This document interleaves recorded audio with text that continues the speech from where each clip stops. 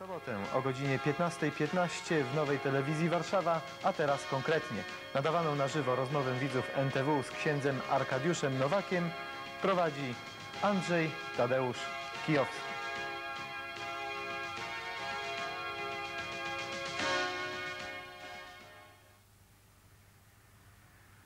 Witam Państwa.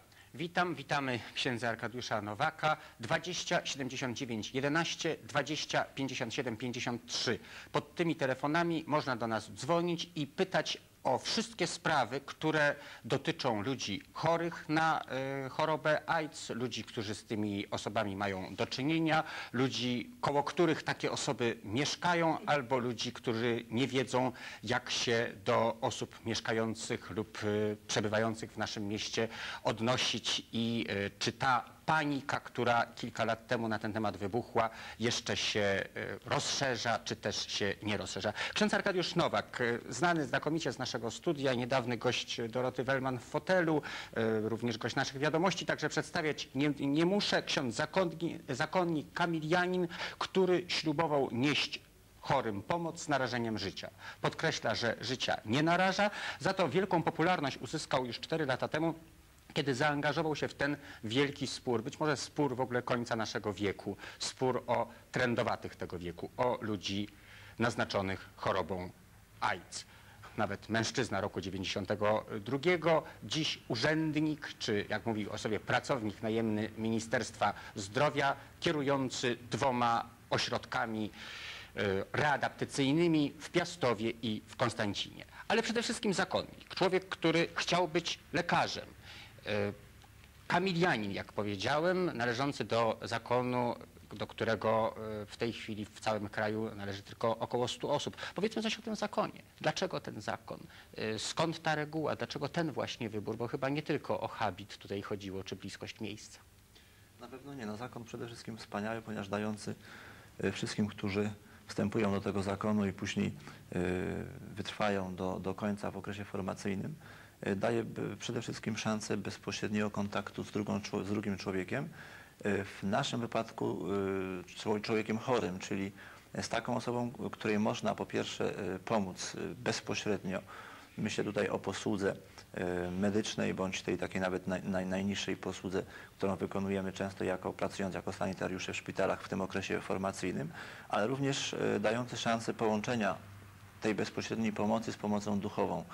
Y, z kształtowaniem y, wnętrza człowieka, z przygotowaniem do, do tego, by umierać y, naprawdę pogodzonym z Panem Bogiem. Stąd nasi kapłani przede wszystkim powinni pracować jako kapelani szpitalni, realizować charyzmat zakonu poprzez taki kontakt z człowiekiem chorym, będąc kapelanem szpitalnym lub też angażując się w bezpośrednią pomoc osobom chorym. I to jest, uważam, ta specyfika naszego zakonu, która jest o, o, tyle ciekawa, że, że, że, nie jesteśmy tylko zakonem kontemplacyjnym, tylko jesteśmy zakonem kontemplacyjno-czynnym, co nas przede wszystkim zbliża do ludzi. I takich zakonów w Polsce jest bardzo niewiele.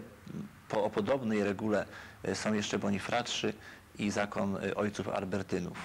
Powiedzmy coś o tej regule, o historii, o świętym Kamilu po prostu. E, święty Kamil, założyciel naszego zakonu, był Włochem. No niestety nie, nie była to osoba święta, przynajmniej w, na początku swojego życia. Myślę tutaj o jego pierwszych 25 e, latach młodości, później e, się nawrócił. Więc raczej był to człowiek e, bardzo luźny, grał w karty, uprawiał hazard. Robił wiele rzeczy, można byłoby powiedzieć, złych. Później nastąpiło nawrócenie. Zaczął, sam zachorował przebył kilka, jak nie nawet kilkanaście chorób. Z tego też powodu był wyrzucany z różnych zakonów, do których próbował wstąpić i w efekcie postanowił założyć swój własny zakon z taką właśnie regułą, aby służyć przede wszystkim ludziom chorym. Wiadomo, okres y, wieku XVI, stąd y, wiele różnych plag tamtejszego wieku, które, do których Kamil podchodził taki, można by powiedzieć w tej chwili sposób bardzo przesadzony i nawet te zalecenia świętego Kamila, które są nam wpajane w okresie formacyjnym, powodują czasami uśmiech na twarzy młodych y, alumnów, ponieważ y, Kamil nie uwzględniał sytuacji takiej, że można komukolwiek odmówić pomocy. 20 79 11 20 57 53 już się ktoś dodzwonił. Za chwileczkę, za chwileczkę będziemy rozmawiali, a ja zadaję e, kolejne pytanie. Czy księdza zaangażowanie w życie doczesne, związana z tym osobista znaczna popularność, nie budzi oporu u przełożonych hierarchów Kościoła? Chciałbym powiedzieć, że nie mogę wykonać żadnego ruchu w swoim życiu już od momentu, kiedy złożyłem śluby zakonne, ruchu, który nie byłby zaakceptowany przez przełożonych. To jest konsekwencja ślubu posłuszeństwa. W związku z tym cała moja praca, cała moja działalność, w tym również działalność publiczna, musi być zaakceptowana przez przełożonych zakonnych. W moim wypadku przez prowincjała tego zakonu, przez Radę Prowincjalną y, i y, to, że jestem dzisiaj tutaj, to, że y, pracuję w taki sposób, jaki pracuję, udzielając się publicznie, jest zaak- zaakceptowane przez moich przełożonych. W związku z tym nie mam konfliktu y, z hierarchią, z moimi władzami zakonnymi, wręcz przeciwnie, gdyby nie ich y, duże zaufanie i zielone światło, to po prostu e, tego dzieła byśmy najprawdopodobniej nie podjęli. Co ludziom zagrożonym i cierpiącym jest bardziej pomocne? Instytucje takie jak Ministerstwo Zdrowia albo Kościół, czy znane osoby, na których ręce, takich jak na ręce księdza, na ręce Marka Kotańskiego, na ręce y, innych popularnych osób, na których ta pomoc ręce jest adresowana? Ja myślę, że jedno i drugie, natomiast bardziej jednak y, wskazałbym na potrzebę is- istnienia instytucji, ponieważ jednak te instytucje zajmują się wypracowywaniem pewnych metod y, działania, pracy. Y, To również te instytucje doprowadzają do uchwalenia y, pewnych ustaw w Sejmie, dzięki którym później można ludziom chorym i potrzebującym pomagać. Natomiast osoby niewątpliwie są ważne. Natomiast musimy sobie powiedzieć, że osoby, że nie ma ludzi niezastąpionych, prawda? To, to, jest, jej, to jest pewien slogan. E, ale myślę, że bardzo, bardzo słuszny. Ja bym powiedział jeszcze w ten sposób, że y, każdy z nas, i Jurek, i Marek y, Kotański, i ja najprawdopodobniej, gdybyśmy nie mieli wokół siebie jeszcze mnóstwa innych ludzi oraz instytucji, które nas wspierają, to sami z siebie byśmy nic nie zrobili. A czy współpracujecie, czy może czasem rywalizujecie, jeśli nie o sławę, to przynajmniej o, o te same pieniądze? Y, Nie wiem, o kim Pan mówi, z kim miałbym... Mówię o panu Owsiaku, którego imię pan tylko wymienił, o panu y, Kotańskim. Nie, nie, Mówię o tych naj- nigdy, nigdy nie pojmuję tego w kategoriach rywalizacji i na pewno nie rywalizowałbym z Jurkiem Owsiakiem. Nie rywalizuję również z panem Kotańskim, z tym tylko, że muszę, muszę tutaj szczerze powiedzieć, że współpraca z instytucją, jaką jest Monar, układa się jak najbardziej pomyślnie, ale w strukturach oddolnych, czyli y, między innymi y, na zasadzie rotacji wymiany naszych podopiecznych, kiedy, kiedy następuje taka Mhm. A konieczność. z panem Kotańskim Natomiast nie z pan- panem, panem Markiem spotykamy się raczej kurtuazyjnie i wtedy, kiedy spotykamy się na sympozjach, bądź też dzwonimy do siebie w jakichś ważnych y, sprawach. Natomiast sądzę, że się zbyt mocno różnimy w podejściu do świata i człowieka i to nam troszeczkę blokuje możliwości bardzo ścisłego współpracy. 20 79 11 20 57 53. Pierwsze pytanie. Dzień dobry. Proszę bardzo, wchodzimy. Halo? Halo, słyszy nas pani? Tak, słyszymy. Dzień dobry. Dobry panu, ja chciałam, ja mam pytanie skierowane do pana Nowaka. Yy, mogę już je zadawać? Tak, słyszymy panią. Czy pan się zastanowił chociaż przez chwilę nad mieszkańcami tego miasta, ja mówię o tych dwóch miasteczkach, które pan zniszczył poprzez zepchnięcie ich na dno społeczne przez istnienie tego ośrodka. Czy pan powie całemu społeczeństwu, że zajmuje się pan tylko narkomanami zarażonymi, a ludzie zarażeni poprzez asymilację, którą pan, do której pan zmuszał mieszkańców tych miast, umierać będą i umierają we własnych domach.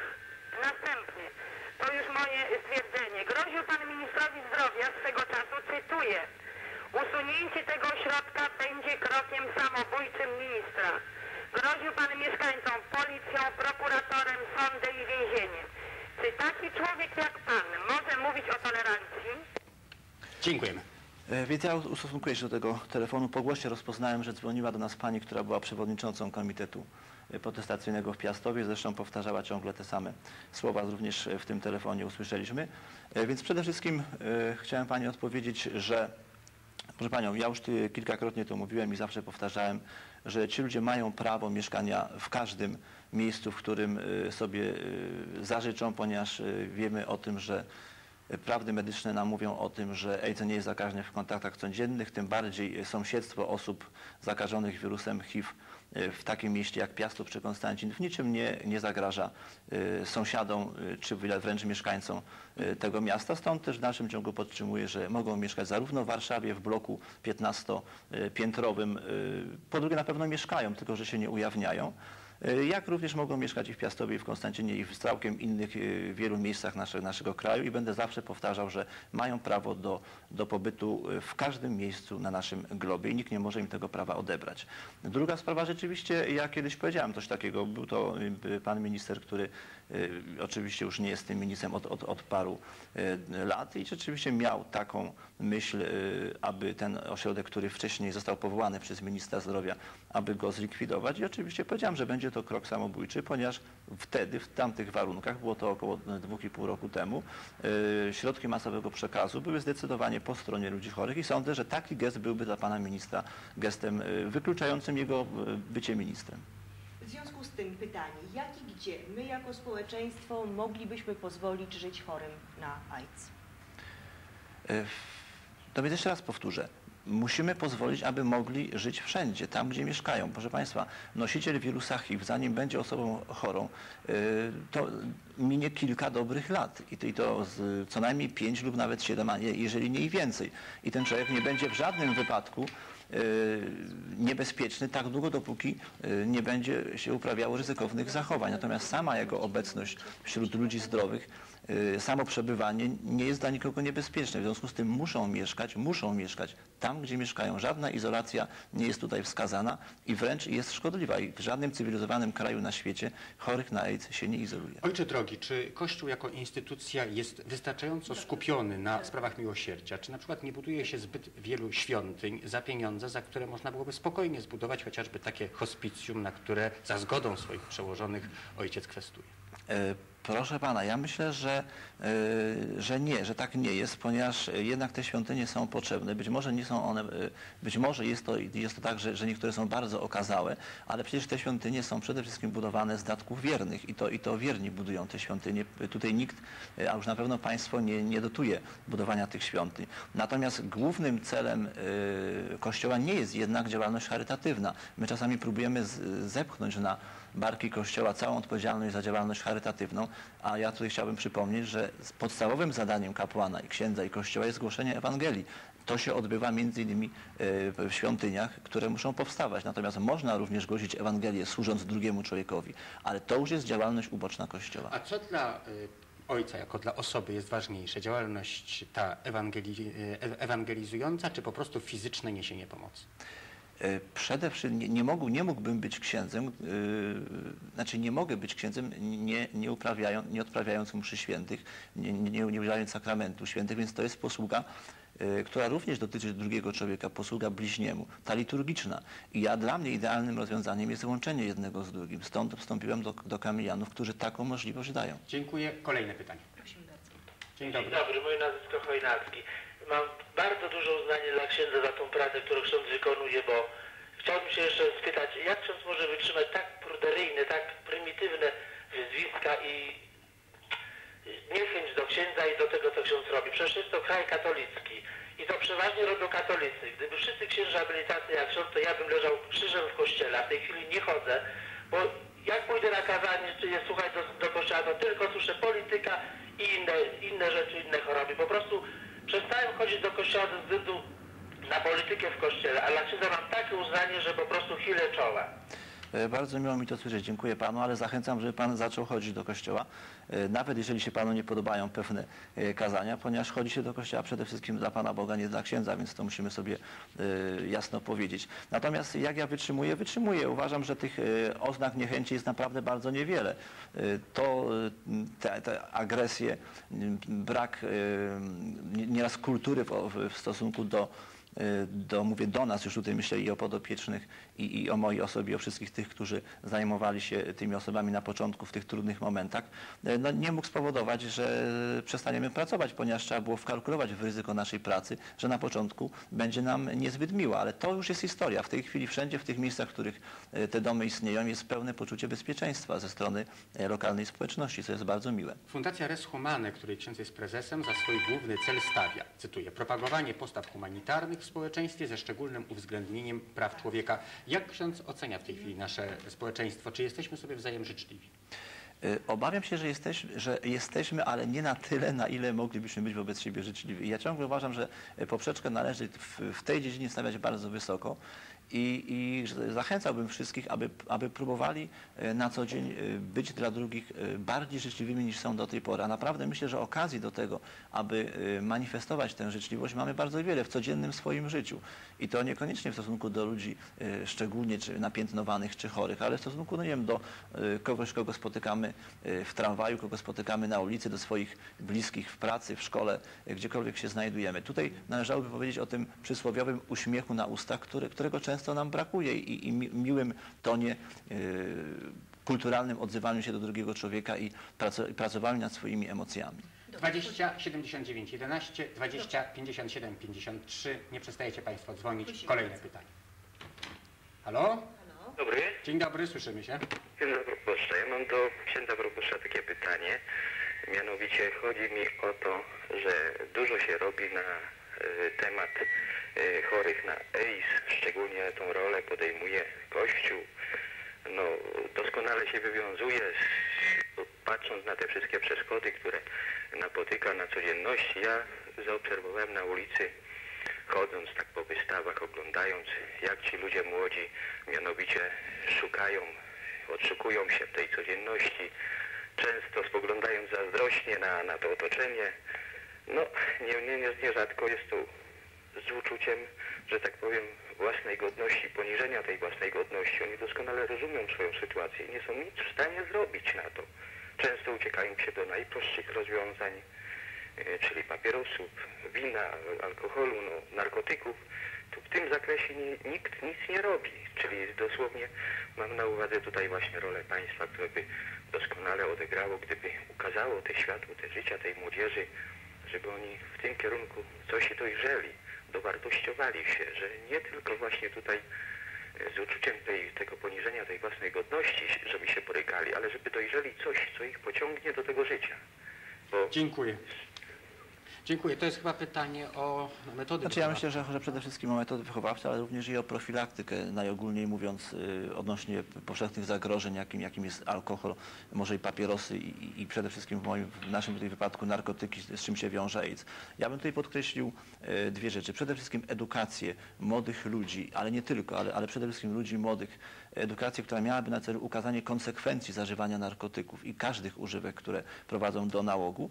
Y, I z drugiej strony y, edukację i, i wykształcenie wychowawców oraz tych, którzy wychowują y, w podstawowej komórce, jaka jest, jaką jest rodzina, czyli rodziców, u, uświadomienie im, że czasami wadliwe, znaczy w zasadzie w, przede wszystkim wadliwe wychowanie młodego człowieka może spowodować, że on będzie w pewnym momencie brał narkotyki. I ja muszę to powiedzieć, niestety w wielu wypadkach, jeżeli chodzi o narkomanów, oni się rekrutują z e, rodzin, w których nie do końca ta rodzina jest pełna, ta rodzina czasami bywa, e, delikatnie mówiąc, e, patologiczna. W związku z tym bardzo ważne jest, abyśmy podkreślili rolę i znaczenie prawdziwej rodziny, e, dobrej rodziny, w której, której przede wszystkim panuje e, taka wielka życzliwość, zrozumienie dla siebie nawzajem, ale co najważniejsze, autentyczna e, miłość, która jest widoczna na co dzień, a nie tylko od święta. Kolejne pytanie. Halo? Dzień dobry, y, Edyta Mikołajczyk. Chciałabym się dowiedzieć, jaki jest stosunek Kościoła do AIDS jako choroby. Czy uznaje Kościół, że jest to kara za grzechy, mając oczywiście na myśli sposoby czy drogi zarażenia, czy też, czy też uznaje Kościół chorych na AIDS jako normalnych chorych, że tak powiem, równouprawnionych z innymi chorobami? A jeżeli tak, to co Kościół robi w celu uświadomienia ludzi potrzeby tolerancji i traktowania tych chorych jako normalnych ludzi? Dziękuję bardzo. E, Proszę Panią, e, musielibyśmy się tutaj odwołać do najwyższego autorytetu Kościoła, w tym przypadku jakim jest Ojciec Święty i, i przeanalizować jego wypowiedzi, które były dość licznymi wypowiedziami na temat AIDS i, i słynny gest e, przygarnięcia do, do swojej piersi dziecka chorego. Na AIDS świadczy o tym, że Kościół traktuje tych ludzi jak, jak chorych na, na, kole, na jakąś chorobę, których jest bardzo wiele, z tym tylko, że podkreśla nieustannie, że gro tej choroby, a przynajmniej początki tej choroby wypływają i wypływały z powodów y, złych zachowań moralnych. W związku z tym równocześnie Kościół tutaj stara się y, wskazać bardzo mocno na to, aby przewartościować pewne rzeczy w swoim życiu, y, kładąc nacisk przede wszystkim na odpowiednie życie moralne, na wierność y, małżeńską, na wstrzemięźliwość y, seksualną, y, słowem na dyscyplinę moralną. I faktycznie tutaj y, jest wielkie pole do popisu dla Kościoła, ale to trzeba robić w sposób umiejętny. I jeżeli mogę tak powiedzieć, to y, moja osoba, osoba innych księży, którzy y, zaangażowali się w pracę z osobami chorymi na AIDS, świadczy o tym, że to zaangażowanie Kościoła jest dość znaczne. Prosimy. Kolejne pytanie. Proszę bardzo, prosimy zadać pytanie. Halo? Halo? Dzień dobry. Dzień dobry. Prosimy. Dzwonię z Lasek. Chciałbym zadać księdzu jedno pytanie. Jak mnie ksiądz nie obraża, ja mówię w tej chwili y, o Laskach, tam miały być dzieci, które miały być nosicielami wirusa HIV. No, mamy, nie wiadomo, czy też by nie były nosicielami, bo musiały być. Jak się ksiądz wyobraża? Kontakt dzieci zdrowych z dziećmi zarażonymi wirusem HIV, mającym już AIDS. Przecież te dzieci się bawią bracią się, przewracają się, no to jest normalne. I ksiądz twierdzi, że te dzieci nie byłyby narażone na zarażenie i że właśnie takie ośrodki, jak miały być w Laskach, mają być gdzie indziej, że to ma być wszędzie w pewnym publicznym miejscu. E, Pan mnie źle zrozumiał, ponieważ ja nie powiedziałem, że akurat ten ośrodek w Laskach, w ogóle o Laskach nie mówiliśmy, ale proszę Pana, ja podkreślę, oczywiście te, y, jeszcze raz podkreślę, że nie powinniśmy nikogo izolować i wręcz przeciwnie, y, przy odpowiednim wychowaniu i przy odpowiedniej kontroli uważam, że dzieci, które są zakażone wirusem HIV mogą i powinny chodzić z dziećmi zdrowymi do szkoły. Natomiast odnośnie sprawy Lasek, proszę Pana, ja się bardzo cieszę, że w Laskach te domy nie powstały, ale nie dlatego, że nie powstały, ponieważ Państwo na to nie pozwoliliście, ale dlatego, że nie ma takiej potrzeby. Y, My mamy w Polsce kilkanaście dzieci chorych na AIDS i te dzieci mają zapewnioną opiekę przede wszystkim w swoich y, domach, y, wychowują je biologiczne matki i tak być powinno. Tutaj nawet najpięk, najpiękniejsze, najwspanialsze domy dziecka czy domy małego dziecka nie oddają tego, co odda y, dom rodzinny, y, co da ten dom, rodzinny temu dziecku. Oczywiście y, te dzieci są skazane już w tej chwili, jeżeli nic się nie zmieni y, w medycynie, na to, żeby jednak w pewnym momencie y, umrzeć, ale wydaje mi się, że mimo wszystko jestem przeciwnikiem odizolowywania tych dzieci w oddzielnych miejscach. Stąd y, cieszę się, że w Laskach akurat tego domu nie ma, ale jeszcze raz podkreślam, nie dlatego, że Państwo na to nie pozwoliliście, y, ale też muszę tutaj powiedzieć, że uważam, iż popełniono wiele socjotechnicznych błędów, w tym również obrażając mieszkańców Lasek na początku i później trudno było na spalonym terenie cokolwiek zorganizować, ale ja uważam, że gdyby nie popełniono tych błędów, to myślę, że Państwo na pewno zgodzilibyście się na obecność tych dzieci na swoim terenie. Zaświtała kolejna nadzieja. Podano wiadomość, że dr Teodor Janowicz z Jugosławii znalazł lek na AIDS. Ziołowy lek, który podobno już 50 osobom pomógł. Czy ojciec wierzy, że medycyna znajdzie y, pomoc, y, przyniesie pomoc chorym na AIDS? Bardzo wierzę i chciałbym, aby, chciałbym, y, aby to było jak najszybciej. Natomiast muszę tutaj powiedzieć, że y, tych informacji dość sensacyjnych, a równocześnie dających wielką nadzieję ludziom chorym było sporo. Nic z tego jak do tej pory nie wyniknęło. W związku z tym trzeba podchodzić do tego z dużym dystansem. Ja już nie odpisuję na listę osób, które do mnie y, piszą, twierdząc, że mają cudowny lek na uzdrowienie ludzi chorych na AIDS, ponieważ uważam to za mało poważne. Y, Natomiast wierzę w to, że jednak medycyna y, wynajdzie antidotum. No w końcu wie, wielkie centra, laboratoria y, pracują tutaj y, w, w tej dziedzinie. Idą za tym bardzo duże pieniądze i naprawdę wierzę w to, że albo szczepionka, albo skuteczny lek wreszcie się pojawi. No to czy w takim razie jest y, AIDS, y, tak jak y, odpowiadając Pani Mikołajczyk, ksiądz powiedział, y, jakąś wielką plagą XX wieku, czy tylko prostym wyzwaniem dla cywilizacji, z którym sobie ta cywilizacja poradzi? Y, To znaczy na pewno nie jest, y, nie, nie, nigdy nie używam słowa plaga, dżuma, trąd. To są w ogóle pojęcia, których nie należy w kontekście AIDS używać, ponieważ one e, zdecydowanie e, wiążą się i kojarzą nam się z jakimś przekleństwem średniowiecza, e, z izolowaniem, z, z, A możeśmy na to zasłużyli, może tym rozluźnieniem obyczajów, tą No rewolucją więc właśnie chciałbym, chciałbym to powiedzieć, że niewątpliwie AIDS jest wezwaniem do upamiętania moralnego i to na pewno, na pewno można tak, można tak powiedzieć, że AIDS jest wielkim wezwaniem, abyśmy wreszcie spojrzeli na to, co robimy, jak, jak funkcjonujemy w tym świecie i być może zastanowili się nad tym, czy warto e, poświęcać swoje życie dla chwili przyjemności. I tutaj e, zgadzam się, że jest wezwaniem do moralnego opamiętania. Natomiast na pewno nie jest żadną wielką plagą, nie jest dżumą, trądem. E, Nie ma we mnie przyzwolenia, aby mówić, że jest to specyficzny rodzaj kary Bożej. Walczy ojciec o założenie hospicjum, hospicjum, czyli domu dobrej śmierci. Czy y, przewiezienie człowieka do takiego domu w gruncie rzeczy nie stanowi y, poddania wątpliwość dogmatu, że do końca należy walczyć o życie człowieka, że nigdy nie wiadomo, komu Bóg zechce życie uratować? Należy walczyć do ostatniej chwili. W hospicjum też się walczy, tylko proszę pamiętać o tym, że e, w pewnym momencie e, chory na jest w swoim stanie agonalnym. Ta agonia może trwać nawet kilka e, tygodni i już tak naprawdę wiadomo, że my nie jesteśmy w stanie tego człowieka wyratować. W związku z tym podaje się mu tylko te leki, które, które są lekami wspomagającymi i które musi zażywać do końca, do, do, do No tak, ale ostatniego oddechu. przewieziony do hospicjum już wie, że skaże, sk- przewieziono go do bardziej lub mniej kulturalnej umieralni. No to co z tego, ale on również doskonale wie o tym, że, że najprawdopodobniej za 3-4 tygodnie umrze. Jeżeli będzie, będzie leżał w szpitalu, to równie dobrze wie o tym, że, jest przezna- że, że być może już za te 3 czy 4 tygodnie nie będzie żył, prawda? Przecież w szpitalu również będzie mógł wyczuć sytuację, atmosferę wokół, wokół siebie, jaką się wytwarza. Natomiast istnieje jeszcze jeden problem. W tej chwili już rozpoczynają się sytuacje takie, że w szpitale y, wręcz proszą o to, żeby gdzieś umieścić osoby, y, które, którym już szpital nie jest w stanie pomóc, a które jeszcze na pewno w tej chwili nie umrą. Będzie to jeszcze jakiś okres czasu i tak mówiąc brutalnie blokują miejsce innym. W związku z tym konieczność hospicjum jest, y, jest ba- bardzo wielka, a za 2-3 lata będzie jeszcze większa. 20 79 11, 20 57 53. Witamy y, telewidza. Halo, dzień dobry. Dobry. Yy, Ja dzwonię z Warszawy.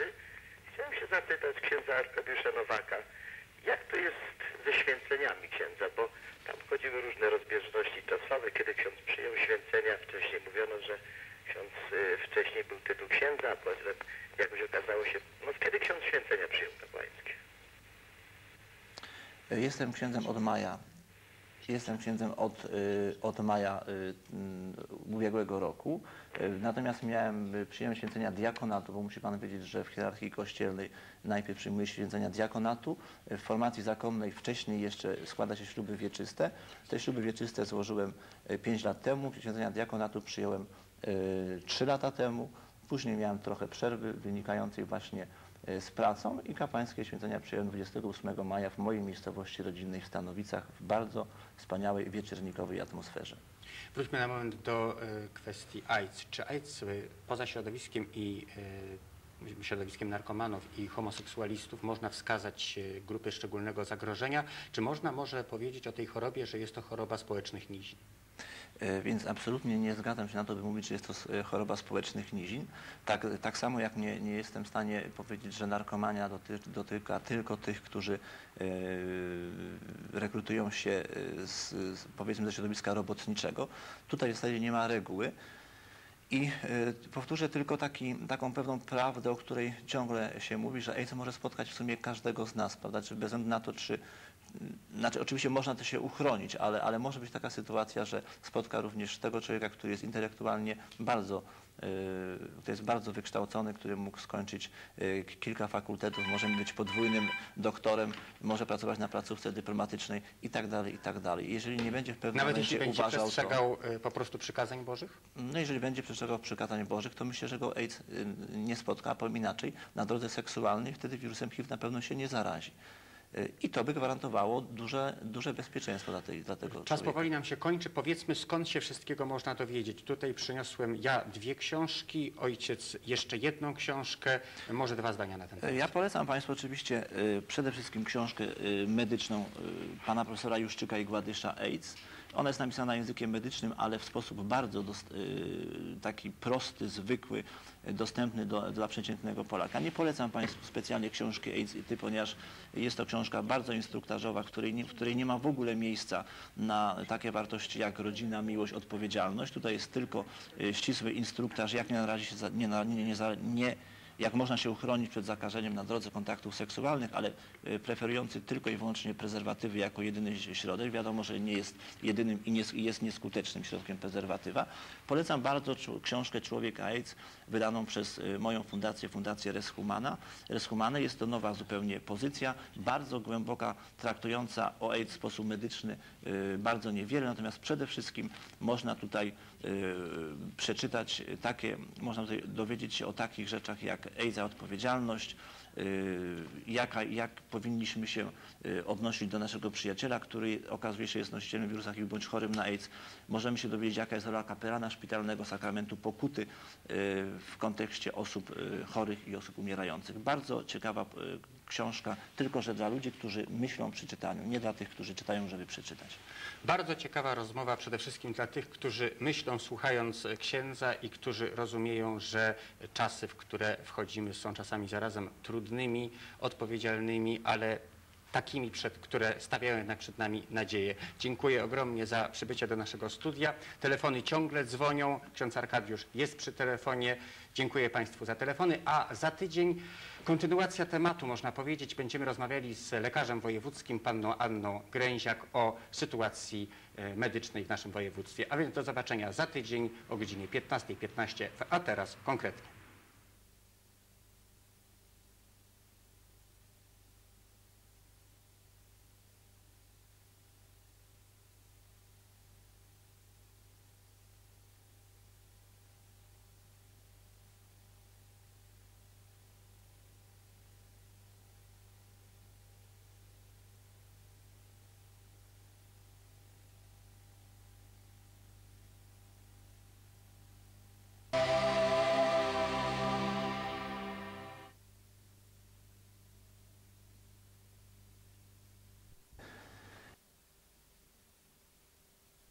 Oczywiście można to się uchronić, ale, ale może być taka sytuacja, że spotka również tego człowieka, który jest intelektualnie bardzo, yy, który jest bardzo wykształcony, który mógł skończyć yy, kilka fakultetów, może być podwójnym doktorem, może pracować na placówce dyplomatycznej i tak dalej, i tak dalej. Jeżeli nie będzie w pewnym Nawet momencie będzie uważał to, przestrzegał e, po prostu przykazań Bożych? no jeżeli będzie przestrzegał przykazań Bożych, to myślę, że go AIDS nie spotka, a powiem inaczej, na drodze seksualnej wtedy wirusem HIV na pewno się nie zarazi.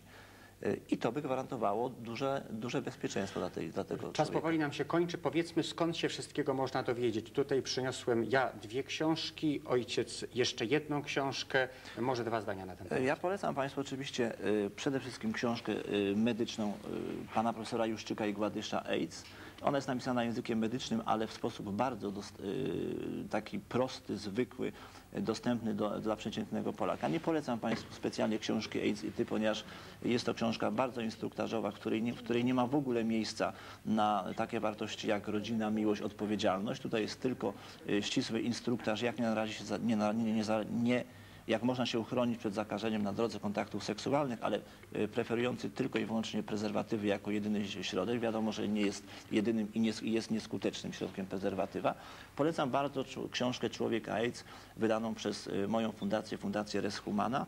Res Humana jest to nowa zupełnie pozycja, bardzo głęboka, traktująca o AIDS w sposób medyczny y, bardzo niewiele, natomiast przede wszystkim można tutaj przeczytać takie, można tutaj dowiedzieć się o takich rzeczach jak AIDS odpowiedzialność, y, jaka, jak powinniśmy się y, odnosić do naszego przyjaciela, który okazuje się jest nosicielem wirusa HIV bądź chorym na AIDS.